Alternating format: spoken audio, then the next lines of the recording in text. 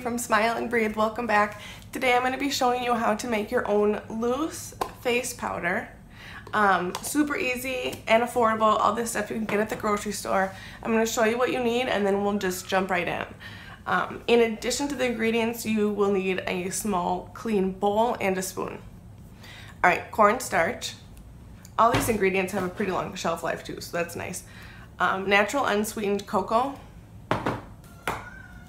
and if you choose to, for a little more excitement, you can add in a little turmeric, a little, or um, some cinnamon. I added into I added in both to the mix today. I'm wearing it now. I think it kind of mattifies. Um, I think it's cute. Um, it's natural and I have a little secret for another use at the end of the video. So um, stay tuned and here we go. Okay guys, so I have all my materials ready to go and I'm going to do all the mixing in this little bowl. So I'm going to start with a big tablespoon of the cornstarch. I'm not going to make too, too, too much, but I want a little bit more. Now I'm going to gradually start adding in the cocoa powder until it reaches my desired shade. And this is really the only other step you need to do. The next two are just kind of some extra fun. So I'm just going to start with a little bit. I haven't done this for a while, so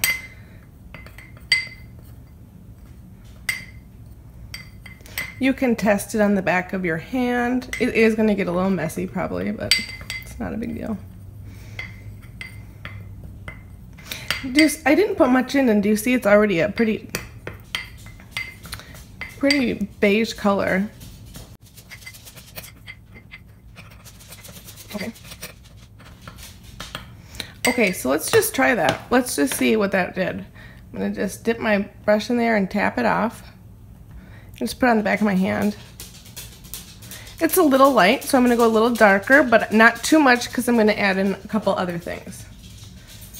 We'll mix in a little bit of that, and then I like to add the cinnamon. I think it adds a little bit more depth, and it's just kind of nice. And to be honest, this stuff smells so good. Not much. And then this is my new experiment. I'm just going to sprinkle a tiny bit of turmeric. Turmeric is great for your skin into the powder. Just a little bit. That was just right on the spoon, but let's get that in. I might add a little bit more.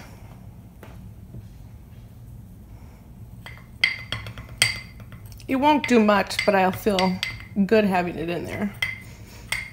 And if I like it, maybe I'll add more next time.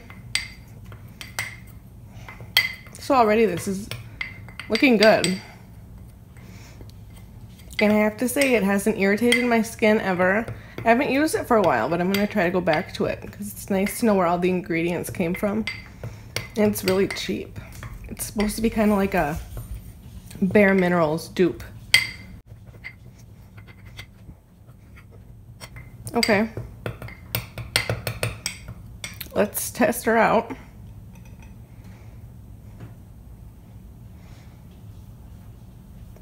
I think that might be pretty good actually.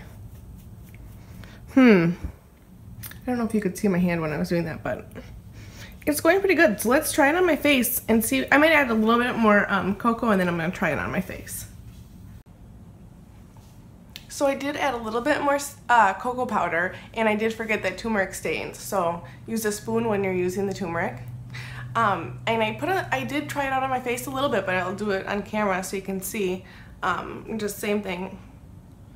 Tap, tap, tap. I'm not going to use too much because I already put it on. But it, it looks good. It kind of mattifies and blurs, I feel like. Oh, that was kind of a lot.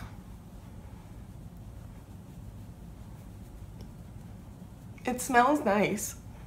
And it just feels really soft going on. And it feels pretty soft.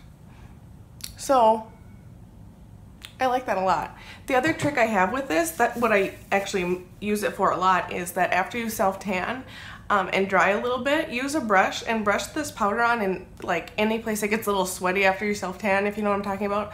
So like under the boobs, between the, on the elbow, um, behind your knees, and um, it makes a nice barrier and it's gentle on your body. So I hope you enjoyed it. Hopefully you learned something, and um, subscribe, like, and I'll see you next time.